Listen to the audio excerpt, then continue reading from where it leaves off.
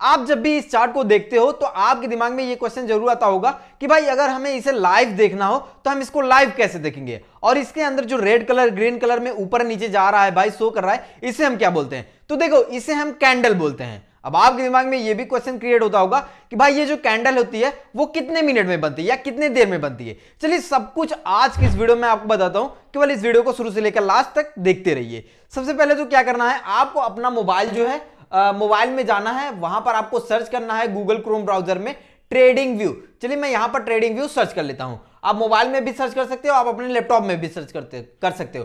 तो trading view यहाँ पर सर्च कर लोगे तो यहाँ पर एक ऑप्शन आएगा trading view track all market का। चलिए यहाँ पर आप क्लिक करोगे तो क्लिक करने के बाद में यहाँ पर आपको तीन ऑप्शन दिखाई देंगे। बिटकॉइन यूएसडी का, एक निफ्टी का, एक बैंक निफ्टी का। आपको यहाँ निफ्टी के ऑप्शन पर क्लिक करना है।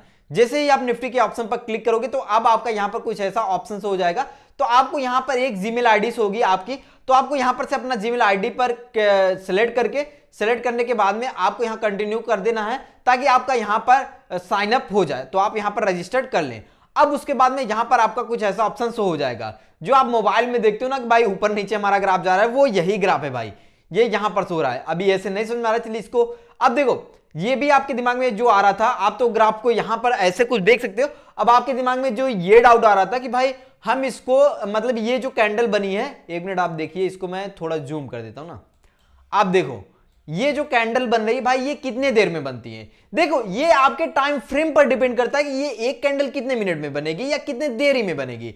जैसे कि यहाँ पर आपको टाइम फ्रेम सेलेक्ट करना पड़ता है, यहाँ पर आप देखोगे तो टाइम फ्रेम हो रहा है एक मिनट पाँच मिनट पंद्रह मिनट एक दिन का। यहाँ पर क्लिक करोगे तो देखोगे एक मिनट, तीन मिनट, पाँच मिनट, पंद्रह, तीस, पैंतालीस मिनट, एक घंटा, दो घंटा, यहाँ पर टाइम फ्रेम आपको सेलेक्ट करना पड़ता है। अगर मान लीजिए आप यहाँ पर पाँच मिनट जो है सेलेक्ट कर लेते हो तो इसका मतलब यह है कि पर कैंडल यानी कि अभी ये जो पूरी कैंडल बनी है, यहाँ पर देखिए फिर से ये जो कैंडल्स हो रही है ये पर कैंडल जो है, एक एक कैंडल पाँच पाँच मिनट में बनी है। क्योंकि हमने यहाँ पर पाँच मिनट सेलेक्ट कर लिया है। अब उसके बाद में यहाँ पर आप देखोगे तो ये क्या शो कर रहा है? ये देखो, जो ये कैंडल बनती जा रही है ना, ये एक एक कैंडल पाँच पाँच मिनट में बन रही है। यहाँ पर जो शो कर रहा है, ये आप जो नीचे देख रहे हो। अब फिर उसके बाद में आप देखोगे, अगर यहाँ पर एक मिनट जो है आप सेलेक्ट कर लोगे तो एक मिनट सेलेक्ट करने के बाद में यहाँ पर आपका ये शो कर रहा है कि भाई ये जो कैंडल बनेगी, अब एक मिनट में बनेगी। आपके टाइम फ्रेम पर डिपेंड करता है कि भाई आप कितने टाइम फ्रेम का जो है चार्ट जो है यूज़ कर रहे हो और आप अपना जो है कितना यहाँ पर मतलब कैंडल को एक कैंडल कितने मिनट पर बनना देना चाहते हो?